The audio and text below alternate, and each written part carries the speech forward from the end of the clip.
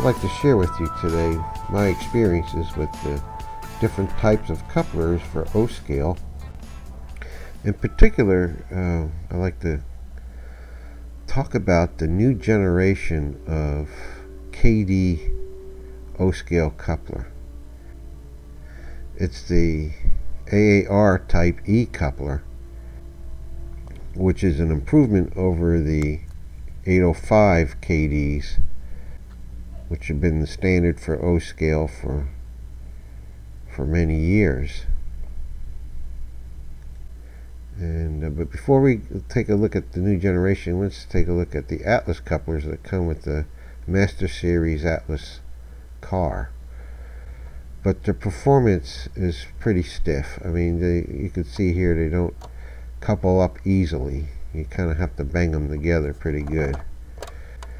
So you see here, uh, after uh, using a flathead screwdriver, a small one, I'm, I'm, able to uncouple it with a little bit of wrestling around.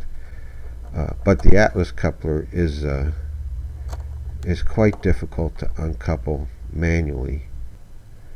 So one of the things we want to do is uh, is remove the the Atlas coupler and replace it with the new generation coupler.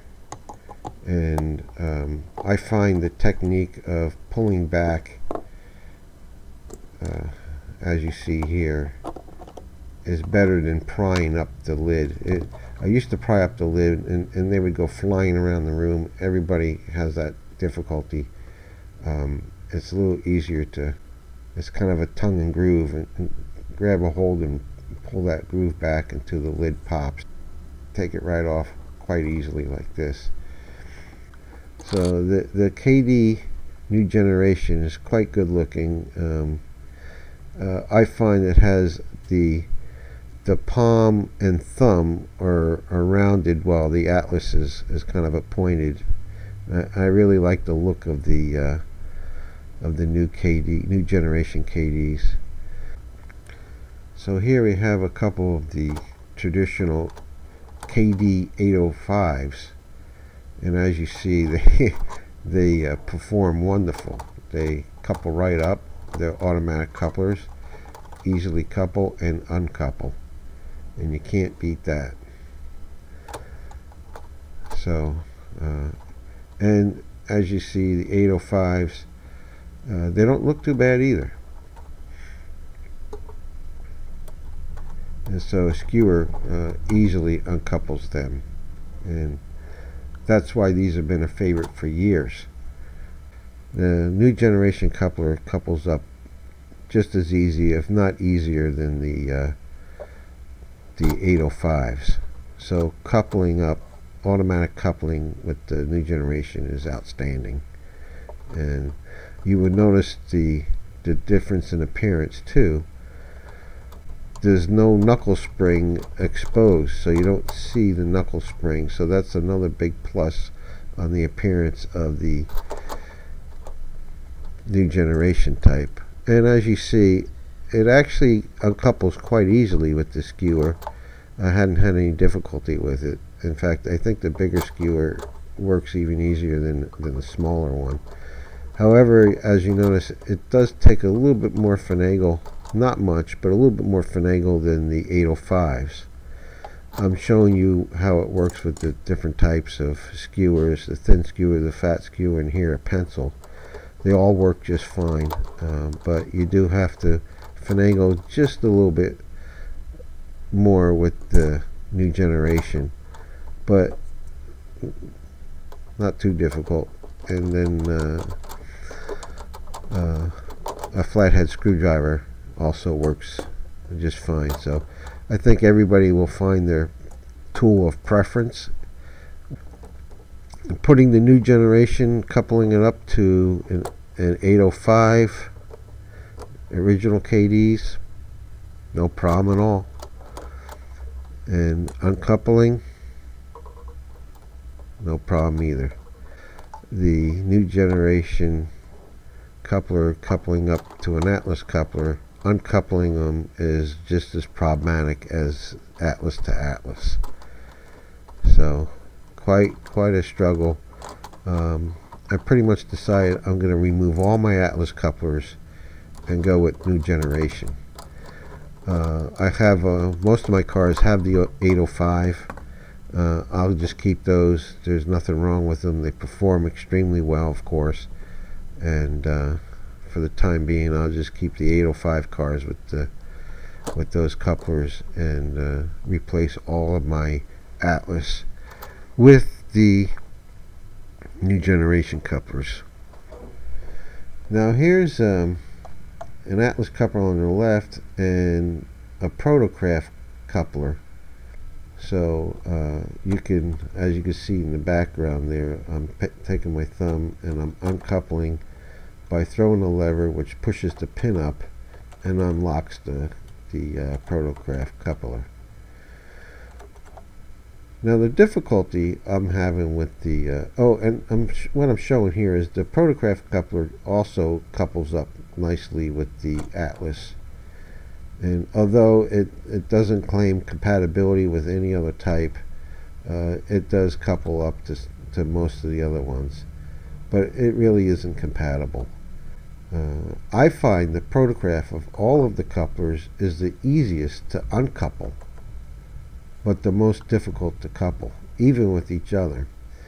And the reason why is they are realistic. They operate just like a, an actual uh, prototype, and that they're not autom- they're automatic, but they lock. Now the difference is Kadees are automatic and unlocked. In other words, the Kadees never lock. They don't uncouple when you when you're riding your train because of the knuckle spring.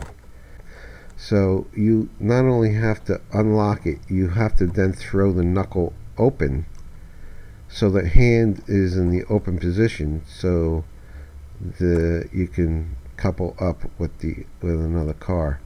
I find this to be very problematic, but a conductor has to unlock the couple and then take his hand and swing the knuckle open before he can couple up and join to another car.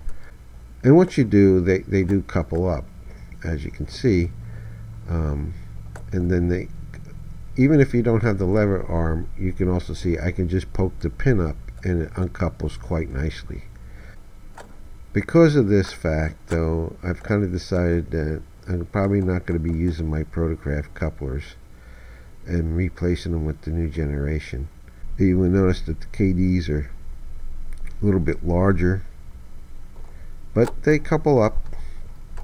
And if you don't have a, you can put a magnet on a skewer and that will pull the pin up so you don't have to reach in from the side if you don't want to and pull the pin up from up above without approaching it from the side.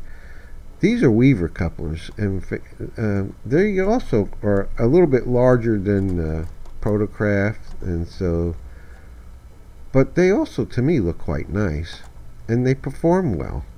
So, and they are compatible with everything else, uh, at least, uh, you know, the Kadees in the Atlas. The, uh, so Weaver has no trouble coupling up.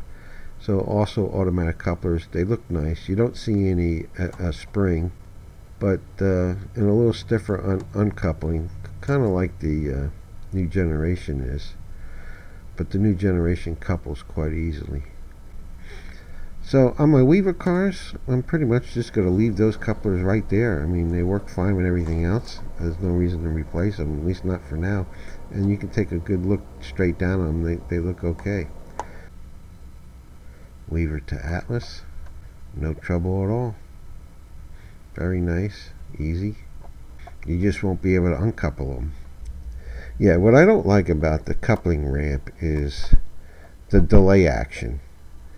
Although you can realistically spot the car anywhere on the layout where you want, uh, first spot the car on a ramp uh, and then remove the slack, let the coupler swing uh, with the mag over the magnet, and then uh, uh, then push the couplers together in the delay position and then you can push your car into the spot you want.